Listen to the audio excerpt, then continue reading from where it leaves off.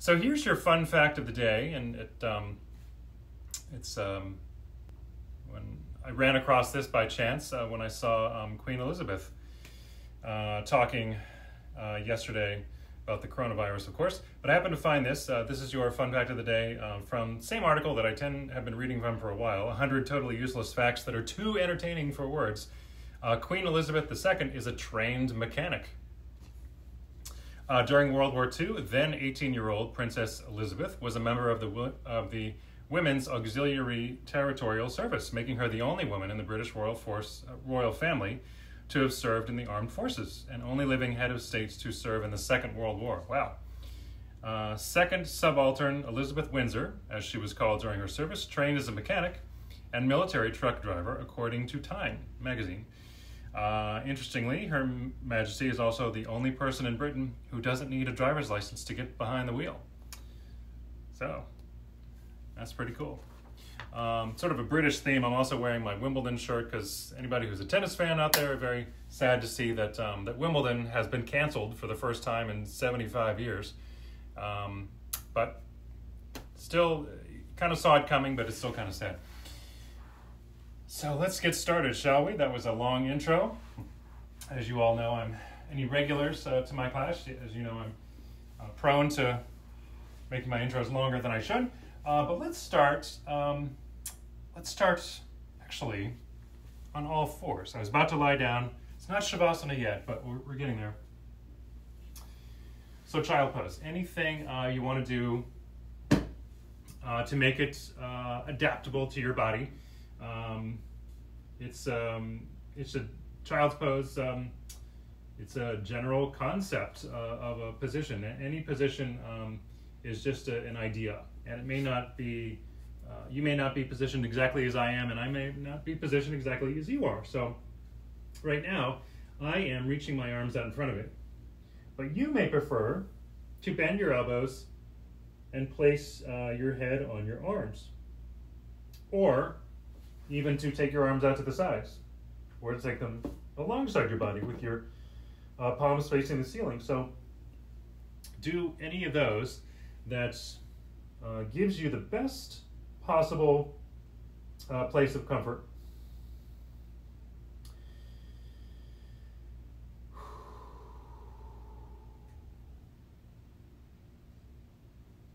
And now begin to um, to draw in as much air as you can. Hold your breath for a moment. Holding your, your oxygen in quarantine.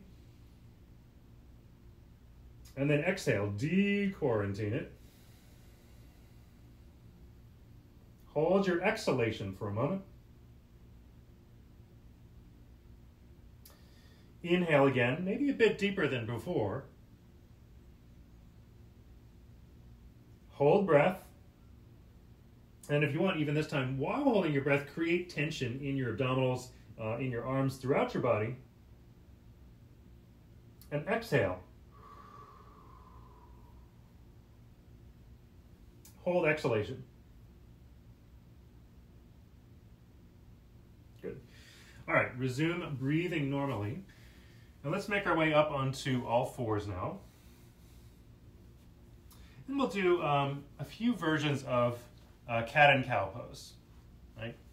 Um, basic movement of the spine, do it just about every session, some iteration of it every session um, that I tend to teach. Uh, so you can spread your fingers out to get the sense that you're building your pose from the ground up. The right hand is trying to spiral clockwise, the left hand counterclockwise. Neither hand actually doing that. They just uh, lock uh, onto the mat with uh, the grippiness between your hands uh, and the mat. Uh, on your exhalation, make your spine as rounded as you can. Try to push your belly button in. Try to curl your head up toward your uh, upper chest area. So you're maximally stretching the back of the body, or at least uh, down to the um, tailbone, not in the legs necessarily. And then inhale, your deepest inhalation, drawing everything in, and exhale, sending everything out. Maximally contracting. And then inhale again. Maybe you can find a slightly more pronounced extension throughout your neck and your back. You can hold that for a moment. And then exhale. Hold exhalation. Good, back to a neutral position. So we'll do the same thing, but uh, now with staggered hands. Uh, just because one hand will be a little closer, not that close, but a little closer to extension, while the other hand is a little closer to what your shoulder might do in a downward dog, for instance. So I have my left hand a little farther in front of me than my right hand, and I have my left knee a little farther in front than my right knee. It's almost like a, a cat starting to crawl after uh, a mouse. Poor mouse. But see if that's um, change in position, change in uh, sort of vectors of, of, um, of weight going down. Sorry, I'm not a physicist. I'm not good with that sort of vocabulary, but that's what popped into my head. Uh, you inhale. I'm sorry, you're exhaling as you round your back. Push the ground away. Push your spine toward the sky. And then inhale back into uh, actually for the first time in this iteration of the hands and feet, uh, into the spinal extension. Inhale again, I'm sorry, exhale. Even through the mouth if you need to. That helps you to feel all the contractions in your abdominals a little bit more. And then inhale, back here. So one more of these. Exhale. And then just like that cat maybe crawling after its prey. Uh, you switch hands. So the right hand is forward, left hand is back. Right knee is forward, left knee is back. Just a little bit, maybe like a hand length or you know four or five inches um, in terms of this horizontal plane uh, of your mat. Your exhalation, rounding your back, of course. You create that posterior pelvic tilt so the tailbone's kind of curling under and forward and maybe even a little up depending on how pronounced your uh, coccyx curve is. And then your inhalation, you go back again, but now with the hands positioned uh, opposite way, into that extension position. Exhale. Inhale. Exhale. Inhale. Good. All right, so another uh, variation on uh, this, this is called, uh, I call this the segmented cat and cow pose because you're having to kind of um, mentally segmentize, new word, um, your attention between your cervical spine, your neck, and your thoracic and lumbar. Uh, and I've done this uh, in my uh, regular classes before, maybe not virtually. This is the first time for that. So um, just see what I'm doing first if you're unfamiliar. Hands are back in the same uh, horizontal plane as are the knees. Instead of the traditional head lifting and spine extending, you keep the spine extended, save for the cervical spine and the neck, and you allow your neck to lower for any of you all with keen uh, sense of hearing. I'm very close to train tracks right now. And you might be able to hear the train, so my apologies for that. So this is your inhalation. Your spine is uh, extended except for your neck. Neck is lowered. And then, sorry, on your exhalation, you round your back and lift your head. And to me, this almost feels like a really nice way to squeeze out tension from the upper trapezius, uh, upper back and upper neck. And then inhale, your spine uh, extends, head lowers. Uh, exhale, rounded back, lifting head.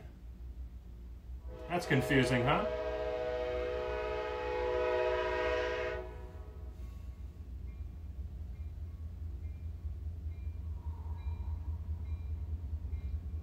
Let's do one more round of that. This is your inhalation. It's almost like you fell asleep while doing cat and cow pose. And this is your exhalation. Pushing mid back toward the sky. Let's actually hold this for a second. You know, not the most beautiful spinal position. Won't get you onto the cover of the yoga magazines, but uh, it's a nice way to feel like you're squeezing uh, tension out of your neck. So try to push your head into your neck, your neck and uh, sorry, try to push your head into your upper back and vice versa. And then release that. Now, let's get back on track. Pun very much intended there. Let's lie down.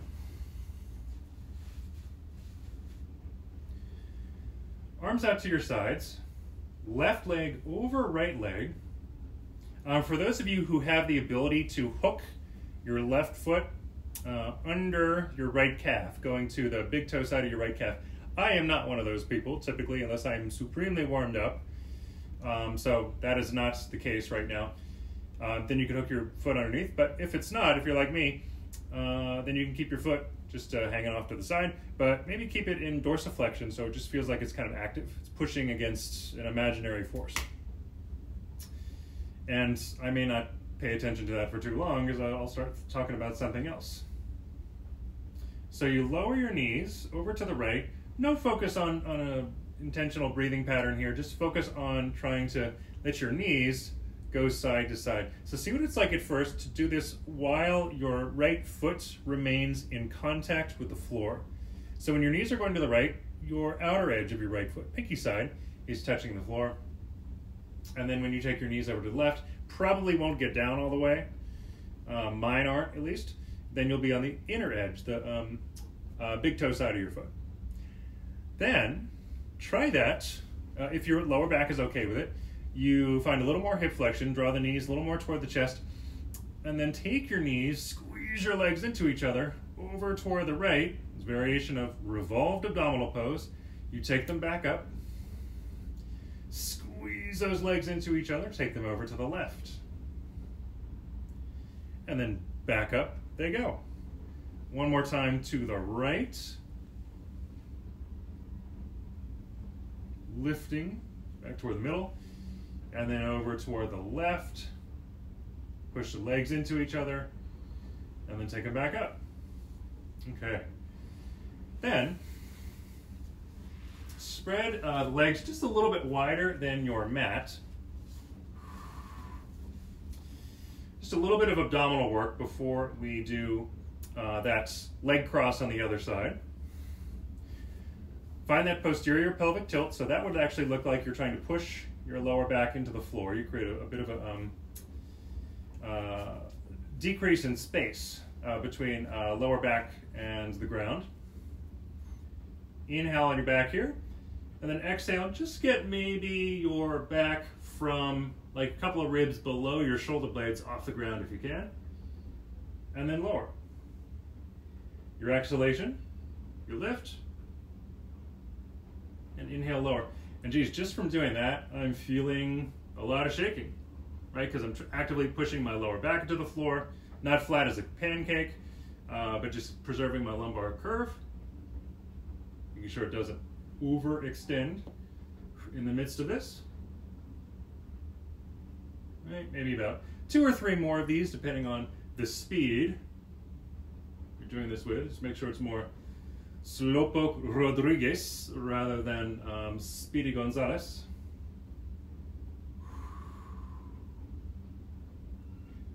Yep, that's it. So let's do that on the other side. Uh, right leg crosses over left leg. Again, if you can hook the foot, second time, third time, fourth time.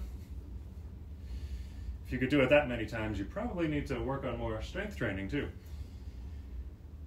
I'll be the first to tell you, yoga is not the end all be all of a fitness. You gotta mix it up. Variety is the spice of life, and for your body and your and all of its constituents too, all its constituent parts.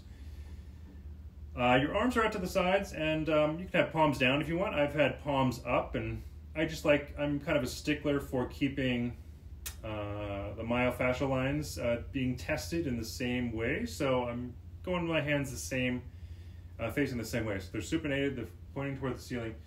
Knees are going from side to side, three or four or, or five times, depending on the speed. Um, hopefully you've started since I've been talking a lot.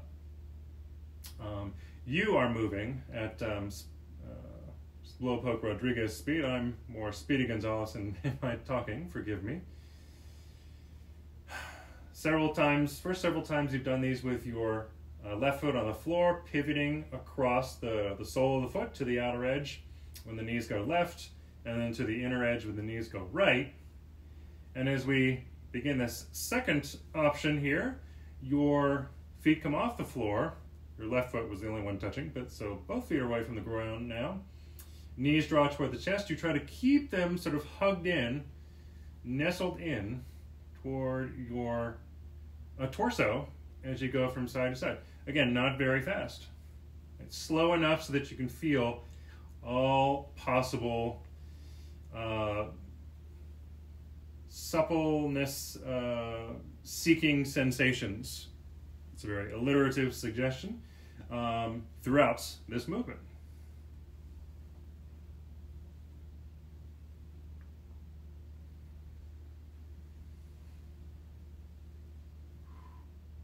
Good.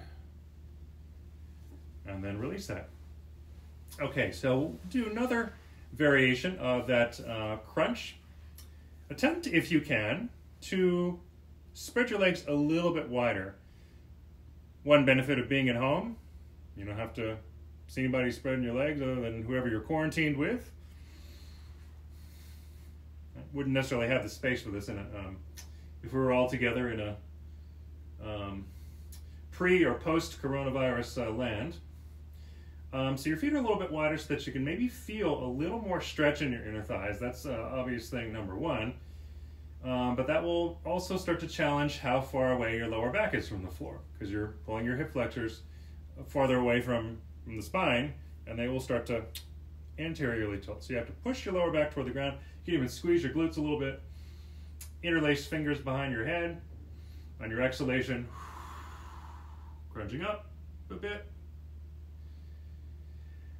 Uh, if you're getting uh, cramps on the outsides of your hips, because there's sort of a little pocket of tissue, pretty much right where your pocket on your pants or your shorts is, uh, that can be a little underused um, by a lot of us. Uh, hip abductors and internal rotators, because maybe we walk with feet closer and, and feet turned out a lot of the time. So uh, if that is the case, you can actually turn your feet in somewhat, and uh, maybe that that will engage them a bit more, make them a little less lazy. If the lazy factor of having the feet turned out uh, was causing the cramping.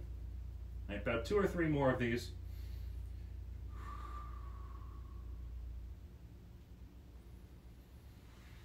Good. All right. Draw your knees into your chest. Move them in a circle. Small circle, nothing, nothing huge.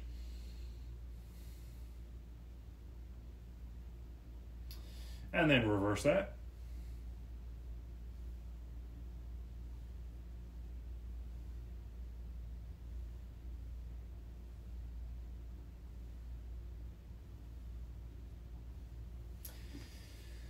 All right. So let's uh, sit up now.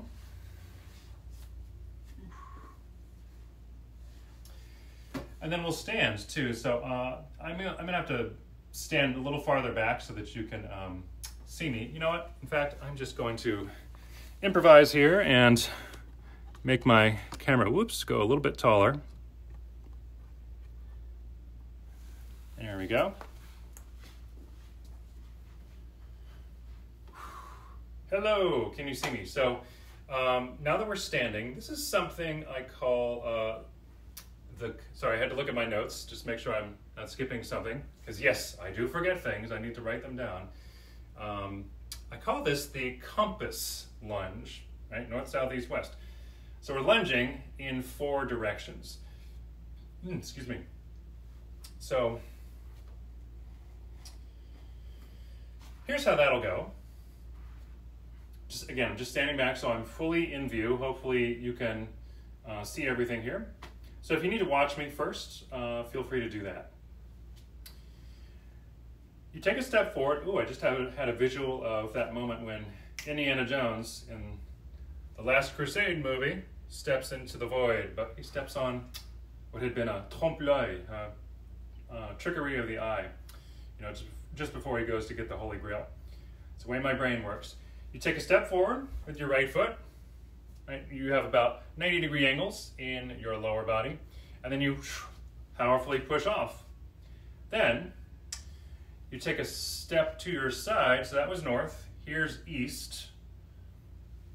Right? East for me, it may not be uh, east for you if you're doing mirror image.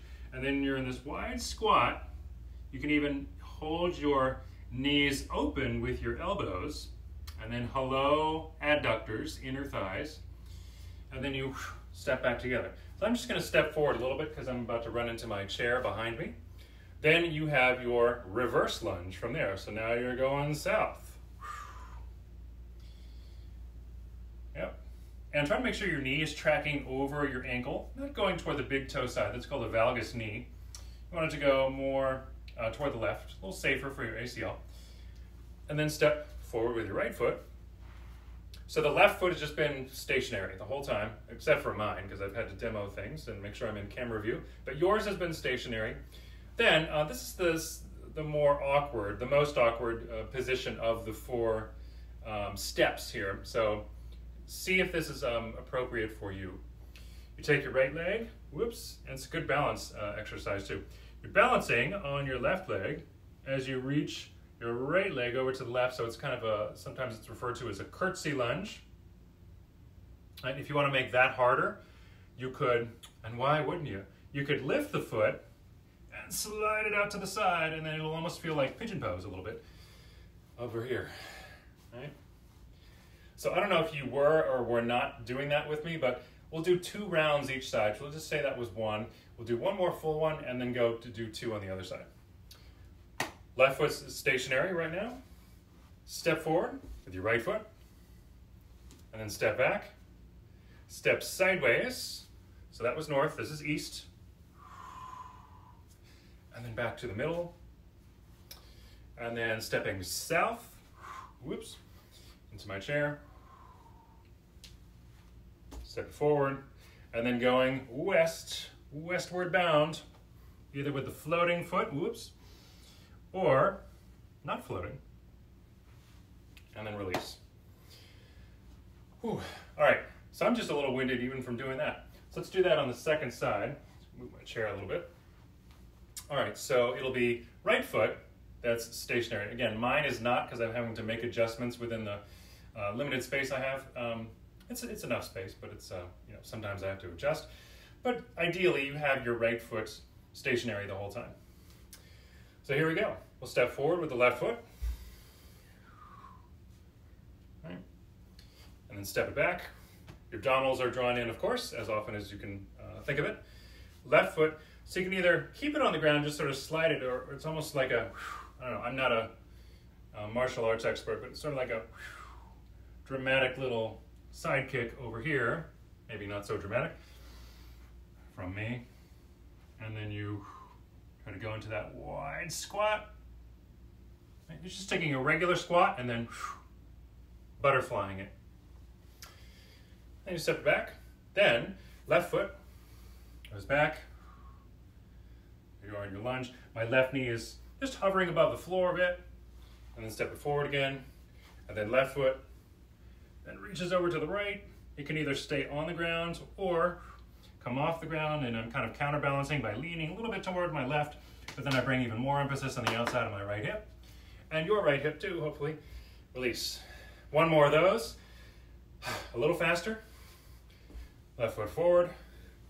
Step it back. Left foot sideways.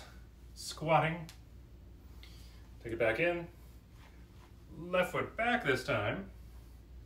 And forward and then left foot over adducts. It goes beyond the midline, over to the right, curtsying to the queen, the, the queen mechanic. You're not sure what I'm talking about, if you just joined in, go to the beginning. of the video later in the rebroadcast and you'll know what I'm talking about. All right, release that. Next, uh, let's try um, you taking advantage of the fact that we don't always have chairs uh, in a yoga studio or at a gym. Maybe we do, but in an, in an exercise um, setting, and maybe not in a yoga setting. So I'm just going to move my chair. Let's see, right here.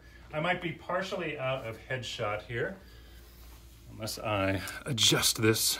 Whoops, the other way, right there. Now, now actually, I'm going to keep it down here because I'll need you to see what my foot is doing too. You don't need to move your mat, but I just moved it because I don't want to get uh, chair leg marks on this nice $70 mat I got. Okay, so here's a lunge um, using uh, the chair. It'll be a pulsation between a lunge uh, and a hamstring stretch. So you could start off doing um, a plank on a chair. And this should actually, in theory, be easier, an easier plank than having your hands on the floor because the angle of your body in relation to the floor um, is, you know, well, sorry, I'm not good at geometry, but when you're spread out across gravity more, it's, it's a little harder on your body. So when you're slightly closer to vertical, it's a little bit easier. All right, so I'm squeezing my glutes, right foot, steps forward. Then, uh, as you squeeze your left buttock and try to posteriorly tilt, that might also bend the back knee slightly. You try to descend almost like you're just doing a squat in the right leg, pretty much. Trying to stay somewhat upright. I'm feeling a massive stretch uh, in my left thigh. And then you bring it back up, and then depending on how sensitive your heel is and, and the hardness of the surface that your right foot is on right now, um, you can pivot onto the heel, try to drive it into the floor, and act like you're trying to drag it backwards. Right? And I actually just caught myself, excuse me, uh, hyperextending slightly for a split second. So another reminder uh, to keep the abdominals drawn in. And then you try to lunge, maybe slightly adjust the foot. My mat is slipping a little bit. Yeah, going back and forth. About another 20 to 30 seconds.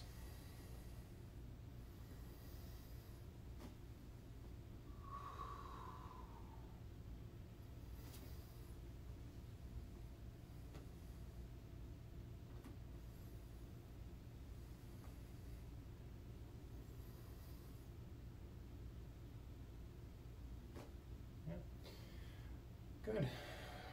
And then you can try to hold on to that um, lunge position for a moment. Maybe let go of the chair. Try to hold that for five, four, three, two, one. Good. And then, whoops, again, slight adjustment here. Try to drive your heel, your right heel, straight into the ground. Push the ground, push the chair away so you have space. You're protracting your uh, shoulder blades. And then release. Let's take that right leg back, back into plank here. Yep. Just let me um, turn around so you can see what I'm doing here. If there's any confusion.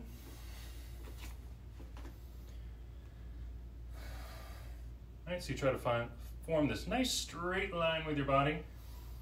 And then keep everything fairly stationary, even as you just are making this transition to stepping the left foot forward. Yeah? Little posterior tilt to your pelvis. Squeeze your right buttock. Then imagine you're sort of um, maybe one quarter of the way into doing a squat, but only on the left leg. So then, oh, I want to squat more. Start to bend the left knee a little bit more, start to close down, hip flexion on that left side, and then you get more extension on the right side. Squeeze that right buttock even more. I'm sweating like crazy right here. Then you come back up, You have, your, got, you have your hands, excuse me, on your chair. Heel is trying to drive down into the floor to create the impression of doing hip extension in the left leg. So you just do that isometrically. And then try to drag the heel backwards to create the effect of, um, of trying to stretch the hamstrings a bit more.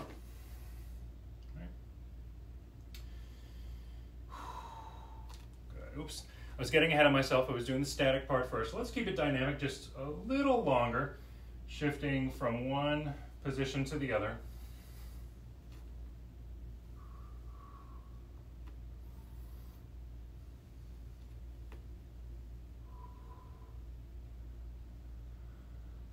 Ooh. All right, and then next time you are lunging, you try to maybe let go of it, create that posterior tilt. I usually imagine I'm trying to rev my motorcycle engine there. Right. My right leg is shaking. I don't know if you can see that. It's not just for the camera, it's legit, I promise. Ooh, that was enough on this side for me, maybe not for you. And then you can hold on to the stretch in your left heel. Your right heel might be off the floor a little bit. Ideally, you're, um, you're not uh, you know, shifting your hips way over to the left or way over to the right. You want to feel like your buttocks are, would be relatively level on this diagonal plane. Right? Hopefully I'm a good enough demo for that.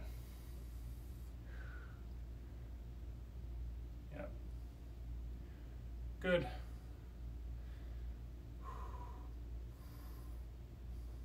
Okay, then let's take this into essentially uh, a downward dog, which I practically never teach in, in, in its actual iteration, uh, more traditional uh, hands on the floor thing uh, aspect.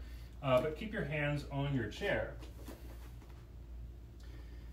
And I have a very grippy vinyl chair that I'm holding onto with my slightly sweaty, recently washed, de COVID 19ified hands.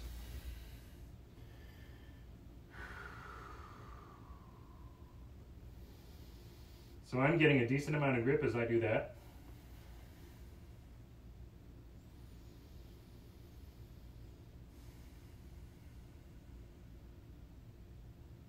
hopefully you you are feeling the activity in your shoulders. You want to act as if you're trying to push this chair through the floor so you're not just sinking passively into your shoulders and creating any kind of um, uh, compression in your sockets there.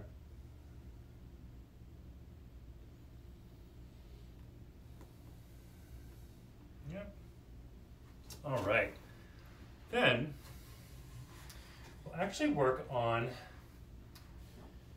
tree pose uh, with the option of sitting down in a moment. So let me show you. So you can turn your chair uh, to face me. And I'm almost fully in the shot, not totally. All right, so chair pose. I'm sorry. This chair is doing chair pose. You are doing tree pose. You might need something else to, to hold on to if your balance is really uh, wobbly. So stand on your left foot take your right foot and maybe it goes somewhere up into your left inner thigh. If not, your right foot goes down a little bit. Try not to push too much um, sideways force into your knee. It is a hinge joint, so it only goes uh, front and back. Right. So I'm trying to uh, squeeze my quads on my left uh, thigh, and I could feel them sort of popping up under my right foot. Squeeze your left buttock, and then, whoa, you can only see part of me, I know. So you can reach your arms out to your sides, like they're the branches of the tree, without getting too, too new agey on you here. So you might need them out here for balance assistance in a second. So here's where the chair comes in. Stay here if this is enough work for you, or cross your right ankle over your left knee rather than sending, I'm just going to turn sideways so you can see, rather than sending your left knee forward, which is maybe not so great for it uh, in the long run if you were to do it over and over and over again. Instead, send, whoops, try to send your hips back behind you. You may need to shift your arms out in front of you. It's like a cross-legged Utkatasana, chair pose. And then as gracefully as you can, you try to actually have a seat. So give that a shot. You could also come into it this way. Coming out of tree pose and then just sitting down. That's fine. Do, do what your body uh, can right now. Okay. Then a little hip hinge here. You try to fold at your hips. It's going to be a different degree for everybody.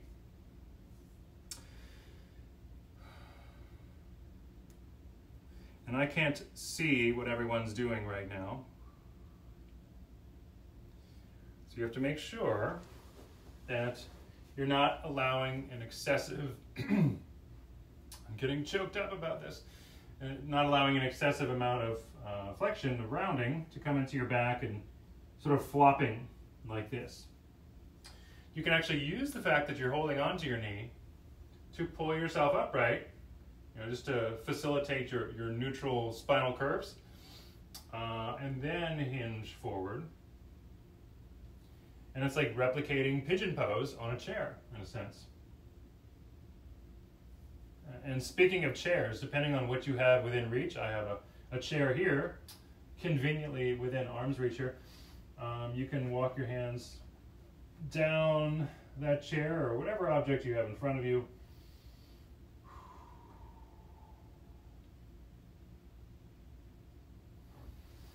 and then sit up. And we'll do that on the second side. All right, so chair pose. I'm just gonna stand to the side. Uh, actually, I'll just do this sideways. How about I? So you can see what I did. uh, left leg will be, is that right? Yeah, left leg, whoops, goes up. I cheated. I held onto my chair when I put my foot up there. Your left leg goes into your right thigh. Here's your tree pose on your second side. Stick with that, or you slide your left ankle, just turn this way for a second. You slide your left ankle onto or just above your right kneecap. Then arms, maybe if they've been out here, they start to kind of sweep dramatically out in front of you and you come down for a gentle landing. Yeah. All right. And then I'm holding on to my leg and my foot with my hands here just to help me establish this nice upright posture.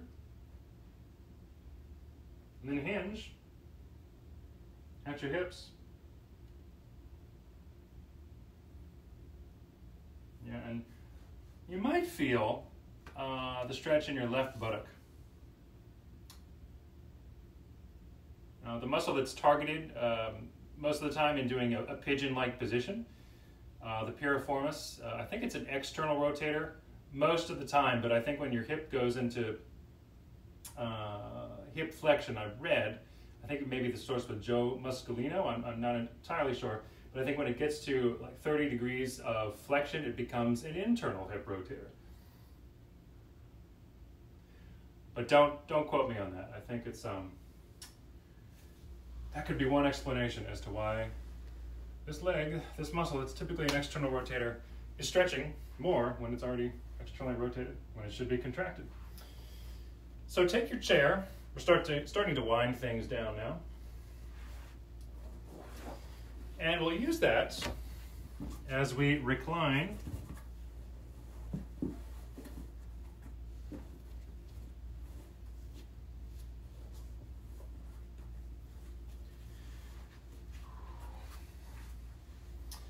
All right, so I'm presuming that um, your chair, that you can approximate maybe about a 90 degree angle in your knees, but you know, it could be thereabouts.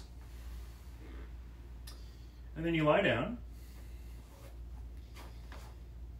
And here, uh, we'll just stretch the back of the right leg right now.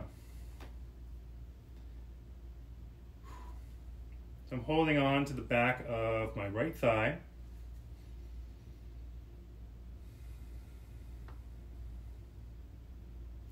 If you want, you can feel the stretch more by number one, dorsiflecting the foot, dorsiflexing, pull uh, the toes toward the floor, point the heel toward the ceiling. Uh, or you can also add on either or. Uh, you can walk your hands uh, up your legs. Sometimes I call this the Jack and the Beanstalk variation of stretching the hamstring. So you're climbing your, your leg beanstalk here. Right, and then you bring the leg with you more gracefully and slowly than the speed with which the beanstalk itself uh, fell to the ground in the story. You pull that leg toward you, and yes, my hips have come off the floor a little bit. So I've kind of found my end range of, of stretching my hamstrings. But the cool thing is that if you were to hold this, you know, a decent amount of time, then your muscles would effectively give up, and they um, they'll find maybe a new resting length. The longer you stay there. Yeah, and I'm actually getting a little shaking as I do this. All right, let's switch sides. Maybe you were too. So we'll start off just initially holding on to the back of the thigh. See how that feels. Stay here if this is enough.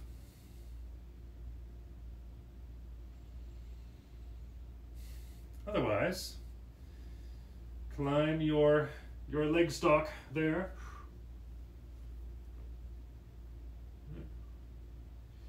And then bring it with you. And I'm actually sort of muscling it in a way.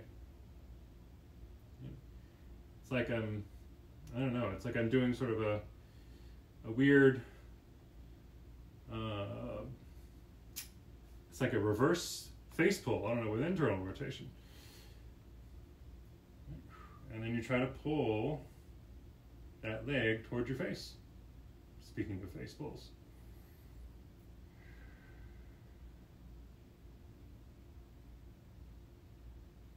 Google that later if you're not sure what I mean. Usually that exercise is done with a lot of external rotation, like that. Yeah. Good. And then pull your heels just a little bit closer to the edge of the chair. So in a sense, you're sort of doing a perspective change of child's pose, right? It's on your back a little bit. But having the heels propped up will give you some uh, opportunity to uh, find the reset button on the hips and the lower back and the hamstrings.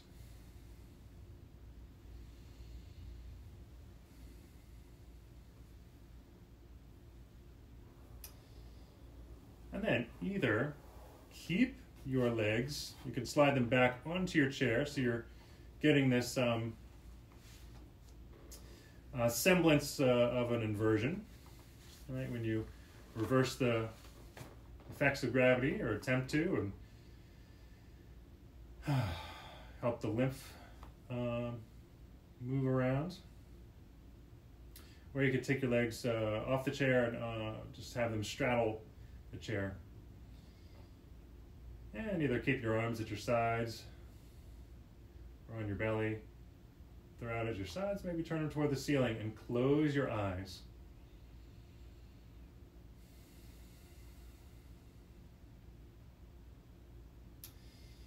And I'm going to count down eight breaths as I hold up five fingers here.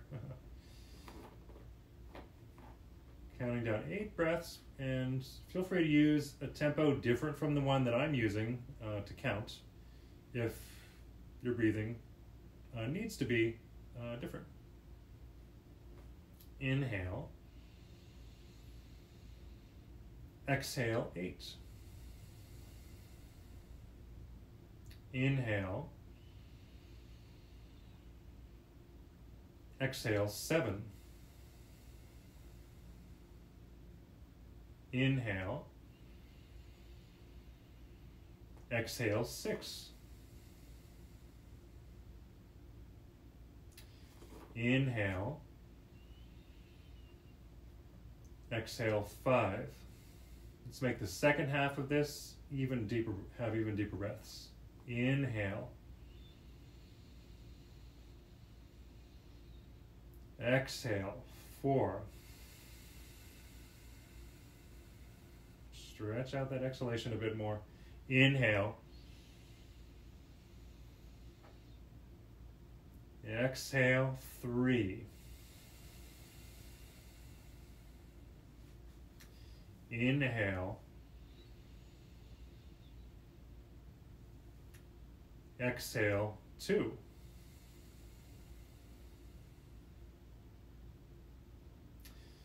Inhale. Exhale, one. Feel free to stay here longer, tune me out this next uh, minute or so. Or uh, roll yourself to one side. You can sit up to face um, face the camera, face your phone, face whatever direction you want.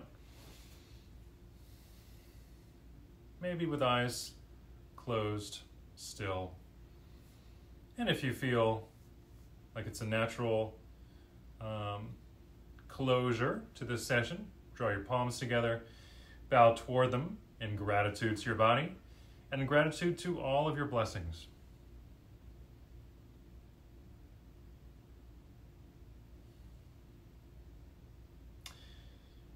Thank you very much. Well done. Namaste. Have a wonderful evening or morning or afternoon if you watch this at a later time. Thank you.